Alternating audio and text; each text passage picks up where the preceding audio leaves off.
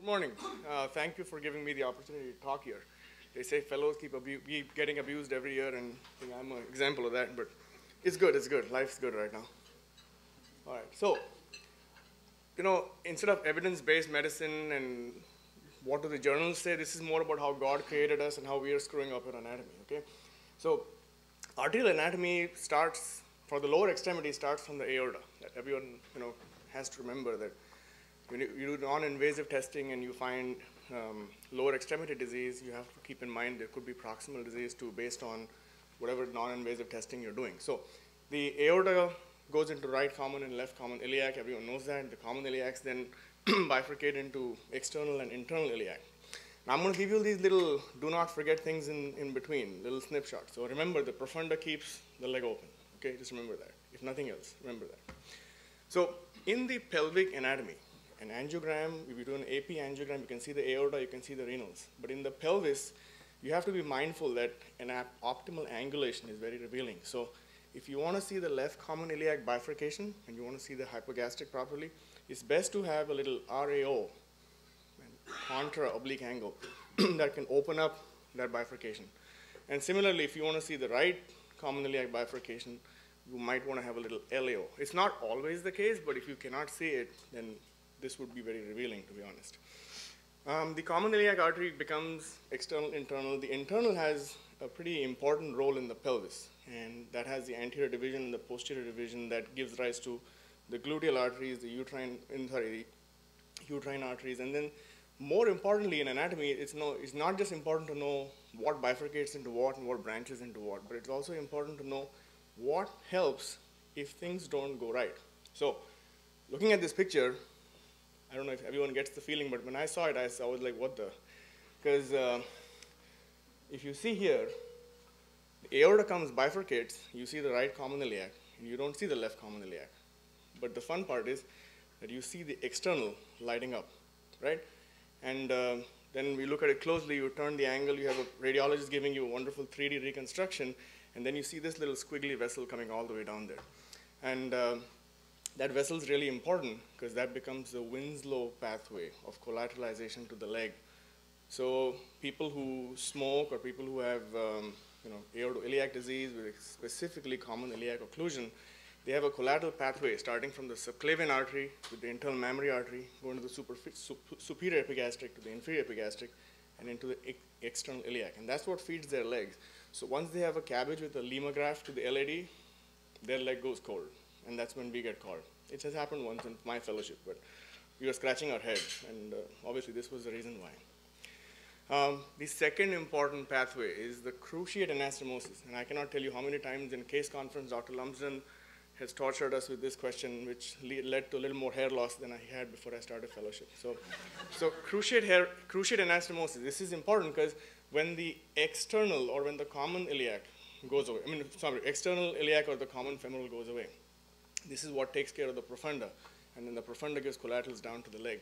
So it's, it's uh, at the top, it's inferior gluteal. You have a pointer? Yes, it's inferior gluteal. Ascending branch of the first perforator going up from the profunda, and then the lateral and medial circumflex femoral arteries. And they come into the profunda femoris, and then they supply the lower extremity. a few anomalies that we should remember. They're not very common, but obviously anomalies are very common in case conferences.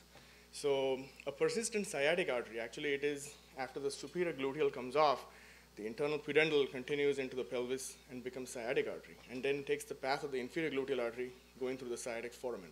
Now it's important because in this patient you will have palpable distal pulses, okay? But you will not have a palpable femoral pulse, and that you'll be scratching your head again as to why is this big, but this is the reason why.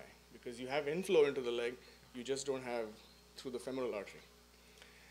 All right, so the common and profunda femoris arteries, um, obviously this is the most talked about in all vascular um, patients, is the external iliac, once it crosses the inguinal ligament, becomes the common femoral.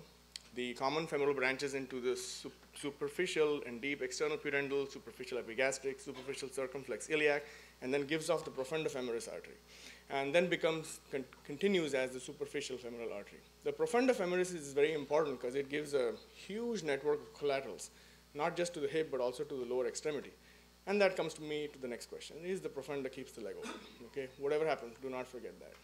Okay, so at the SFA, it's a very unique artery actually because um, you see a lot of disease in the SFA, it's very common, and my question used to be why do you have you know, so much disease in the SFA? It's, it's, uh, if you look at the dynamics, uh, when people walk and run, the SFA not only moves up and down, side to side, but also has a rotational movement when you move your leg. And you think about it, muscles move it so much. And that's why there is so, there's so much of shear stress that makes the intima more predisposed, or the media more predisposed to having atherosclerosis there. Um, the important part in anatomy is the superficial femoral artery starts a little anteromedial and then becomes posterior to the femur uh, as you go up to the adductor hi hiatus and then behind the knee. So depending on where you want to expose this, um, where you want to make the incision. Uh, the popliteal artery is a continuation of the SFA through the adductor hiatus, everyone knows that. Um, it also has important collateral supply in case the distal popliteal or the trifurcation goes off. So it has medial and lateral genicular, it has a middle genicular, inferior medial and lateral genicular, the sural branch, anterior tibial, and then the tibioperoneal trunk. And that becomes the site of the second cruciate anastomosis at the knee is where you have the descending genicular,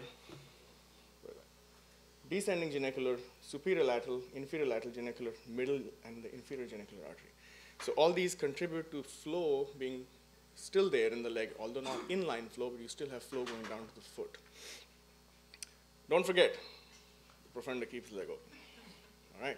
So distal arterial anatomy, that's the that's the sexiest topic with lower extremity interventions, right?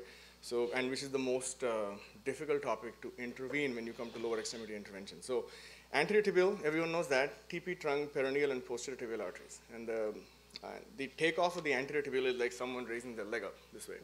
So it's important to remember when you know you see one snapshot, and if it is an AP view, then the side that the, tip, the AT comes off obviously is the lateral side. Remember that always. Um, so the AT comes off at the trifurcation, and this is a, a C, axial CT scan that comes off. So this is the oh boy, boy, boy. This is the AT coming off, and that's the TP trunk forming. You come a little lower down, that's the AT, which is anteromedial, I mean anterolateral, and then the TP trunk that is uh, posterolateral. Um, and you start going on to the trifurcation. So at every little level, you will have difference in the orientation of the arteries, and that depends on, it all depends on your exposure. So where you want to expose what determ is determined by where these arteries traverse. This is a wonderfully simple diagram, which was, you know, hit into our head during medical school, but I, I, bring this up to demonstrate compartments of the leg, which is important for you know, fasciotomy, which is important for dissection of these arteries.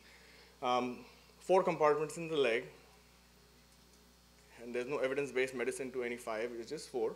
No one's made any papers on that. So four compartments. There is an anterior compartment, there is a lateral compartment, there is a posterior deep, and there is a posterior superficial compartment. The anterior tibial artery lies somewhere in the anterior compartment here. Okay, posterior tibial and then the peroneal artery are deep to the deep uh, posterior compartment. So obviously your dissections and approach to these arteries would differ. And as you go down, your approach to the peroneal can also differ. It could be a medial or lateral approach. Um, although it's pretty consistently behind the fibula, the peroneal artery. All right, this is just lateral medial. Okay. Then we come to anomalies again, the aberrant tibial artery. Again, this is only important when you have to intervene and you don't see on a CT angio, you don't see a, a, standard AT coming off, and on an angiogram, you see something coming off at the top. It comes from the popliteal artery above the knee. Uh, again, this is important if uh, you have to intervene. Have just keep an idea, keep in, keep in mind that this, these anomalies can exist. Um, the anatomy of the foot is, obviously we leave it up to the podiatrists and they call us when they, we find that there is no flow. But uh, it's important to know a little bit. Right? The anterior tibial artery continues as the dorsalis pedis artery. The posterior tibial artery becomes posterior tibial artery and then goes into the medial and lateral plantar arches and that becomes the plantar arch and they communicate with each other. The anterior tibial artery, it crosses the extensor retinaculum on the foot and then becomes the DP. And this is important when you're doing a fem far away bypass on the anterior tibial or the DP, which the patient will clot off anyways, but still it's a good exercise, but uh, eventually.